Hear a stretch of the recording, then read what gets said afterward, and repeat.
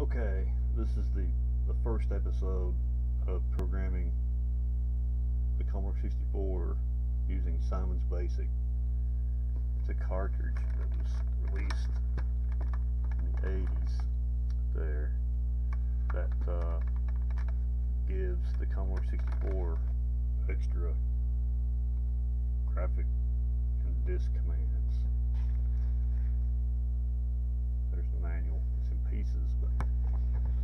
Okay. So this was kind of frustrating at the beginning because I didn't completely understand how the memory was allocated. But I'm going to switch to uh, the screen capture of the 64 and bear with me please because I'm going to have to switch that too. So at first it's going to be messed up, but it will be fixed. Okay, it's a little dark. I'm going to lighten that up.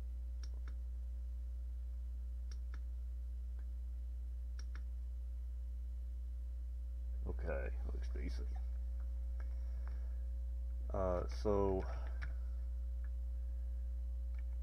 when I first started programming with this, it would just erase my program. I didn't know what was going on, and I was going by the examples in the book. And then I came across a, uh, a post on a Commodore 64 forum giving an example. A guy wrote a Frogger game in Simon's Basic, and I looked at the source code and figured out what's going on. Uh, so first, you need to use the mem command that kind of sets the memory where it needs to be. So let's that needs to be in there. Uh, second, this example will only go over high resolution sprites. I, I, I am not going to cover multicolor sprites in this episode. So in line 90 you got the design command.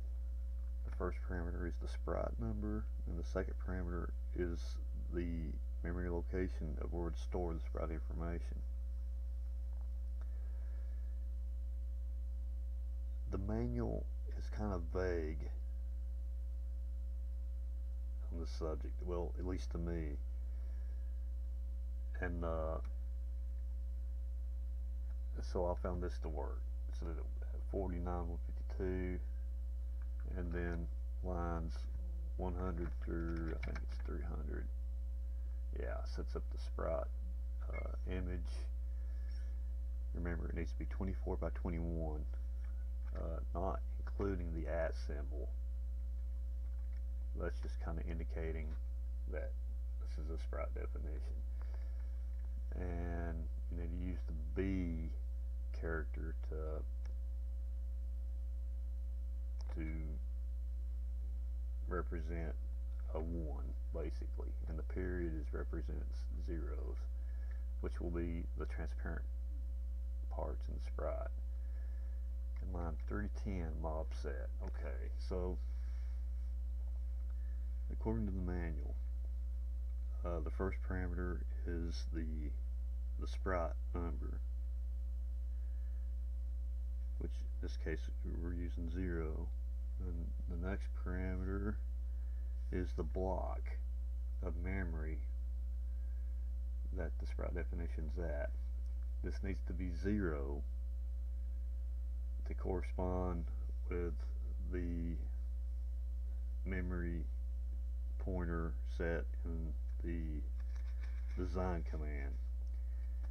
Uh,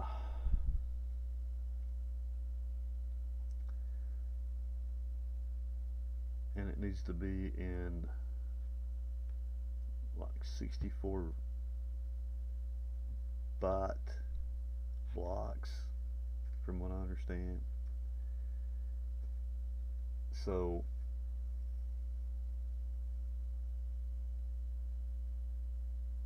if you're going to put it in anywhere beginning other than 49152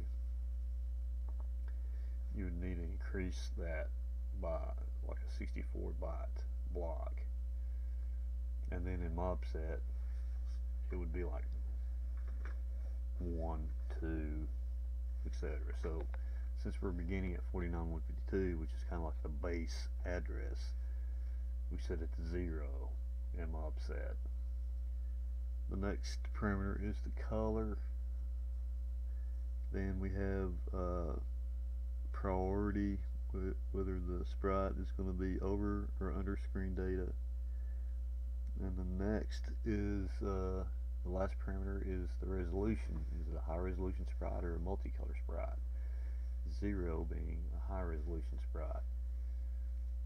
And in this example I've got the joystick to control the, the sprite up, down, left, or right. And the mmob command which is like move mob that's the uh, movable object block.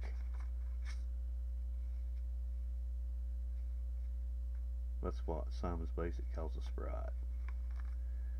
Uh, so the first parameter mmob is the sprite number zero in this case. And then the the two sets of x and y positions is basically a beginning and an ending uh, path that you can move the sprite in. And in which in this case I'm just setting it to just move the sprite there automatically. And then the second to the last parameter is the expansion of the scale of the sprite zero being being no scaling and three scaling it horizontally and vertically. And then the last parameter is the speed of the sprite. That is if you're going to move it from point A to point B which I'm not I'm just moving it definitely. So I'm going to run the program here show you what I got move the joystick move the sprite. Pretty simple.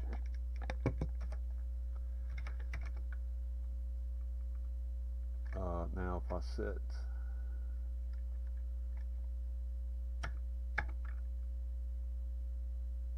the scale parameter the sprite will double in size horizontally and vertically. See? So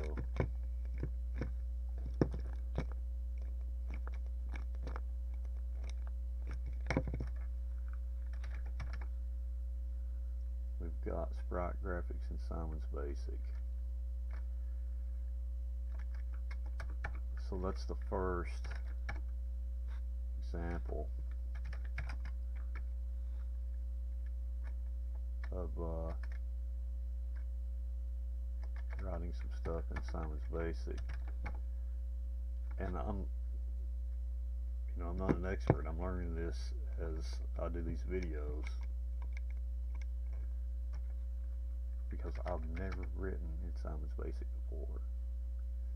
So I never had Simon's Basic until uh, a few months ago when I got this cartridge off eBay. So this is like the first lesson for me and you possibly. I mean if you have experience with Simon's Basic leave comments please you know pointers. I can use them uh, but this is the first step to developing a sprite based game in basic on the Commodore 64 let me switch shots here and adjust the color.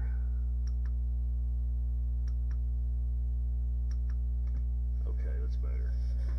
So, this is the first episode. There'll be, more upcoming episodes here shortly that will have a lot more stuff in it as far as the the game is concerned. Uh, this was the biggest stumbling block for me learning this language was getting the memory locations right because like I said before I would set up a sprite definition and it would just erase my program that's because I wasn't setting the, memory location in the design command correctly. And it was basically overriding the basic programming memory so.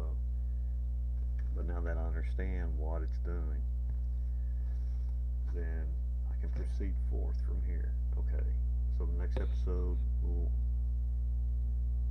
we'll flesh out the game a little bit more maybe even finish it.